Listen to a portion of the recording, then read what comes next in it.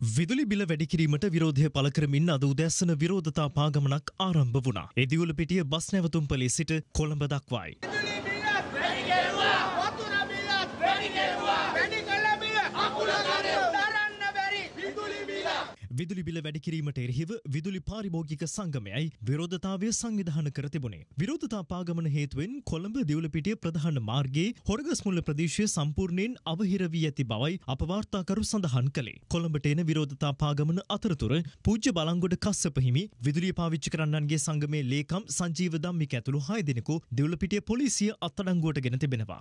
විරෝධතාකරුවන් ගමන් කළ මාර්ගය පොලිසිය අවහිර කිරීමෙන් අනතුරුව මාර්ගයේ නවතා තිබූ බස් රථයකට විරෝධතාකරුවන් පිරිසක් ගොඩ වී තිබුණා. එම අවස්ථාවේදී පොලිසිය විරෝධතාකරුවන් හය දෙනෙකු අත්අඩංගුවට ගෙන තිබුණේ. Hang up දාන්න. Hang up එක දාන්න. Hang up එක දාන්න. Hang up එක දාන්න. ඔය ප්‍රතිවිරෝධය පානවා.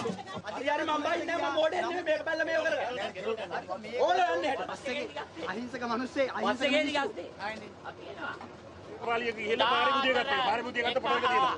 පොළ වැඩේ කරන්න බෝතලේ ගවන්න එපා වැඩේ කරන්න මේ අතර මෙම පාගමනට එරෙහිව ආඥාවක් නිකුත් කරන්නයි ජායල කඳාන වත්තල සහ මහභාගේ පොලිස්ථානාධීපතිවරු කළ ඉල්ලීමක් වැලිසර මහිස්ත්‍රාත් තුසිත දම්මික උඩු විධාන ප්‍රතික්ෂේප කර තිබෙනවා. මහජනතාවගේ භාෂණය රැස්වීමේ නිදහසේ ගමන් බිමන් යෑමේ නිදහස ආරක්ෂා කිරීමට අධිකරණයේ බැඳී ඇතැයි එම ඉල්ලීම ප්‍රතික්ෂේප කළ මහිස්ත්‍රාත්වරයා දන්වා තිබෙනවා. අදාළ පාගමනට එක්වන ජනතාව සාමකාමී තත්ත්වය කඩ කරනු ලැබූ හොත් ඔවුන් අත්අඩංගුවට ගෙන අධිකරණයට ඉදිරිපත් කිරීමට අවශ්‍ය නෛතික ප්‍රතිපාදන ඇති බවත් පොලිසියට දන්වා ඇති බවයි අප අධිකරණ වාර්තාකරු සඳහන් කළේ. මෙතර වැඩි කළ විදුලි බිලට එරෙහිව විරෝධතාවයක් පැවැත්වීම සඳහා විදුලි බල අමාත්‍යංශය අසලට පැමිණීමට සූදානම් වන අනීතික විදුලි බිලට එරෙහි පාගමනට සහභාගී වන සමාජිකයින්ට ජනාධිපති මන්දිරය ජනාධිපති ලේකම් කාර්යාලය මුදල් අමාත්‍යංශය ගාලු මූදර ඇතුළු ස්ථාන ගණනාවකට ඇතුළු වීම තහනම් කරමින් කොටුව මහේස්ත්‍රාත් තිරණගමගේ නියෝගයක් නිකුත් කර තිබෙනවා. ඒ කොටුව කොම්පඤ්ඤ වීදියේ පොලිස් ස්ථානාධිපතිවරුන් සිදු කළ කරුණු දැක්වීමක් සලකා බැලීමෙන් අනතුරුවයි. මේ අතර ඉල්ලීම් කිහිපයක් මුල් කරගනිමින් රටපුරා විදුලි සේවකයින් කොළඹදී ආරම්භ කළ විරෝධය මිට සුළු මොහොතකට පෙර ආරම්භ වුණා.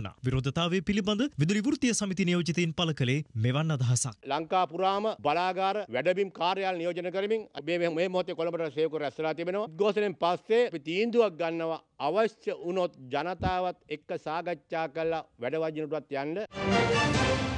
රටේ ලෝකෙ සිදුවන උණුසුම් පුවත් දැනගන්න සියත නිවස් YouTube channel එක අදම subscribe කරන්න.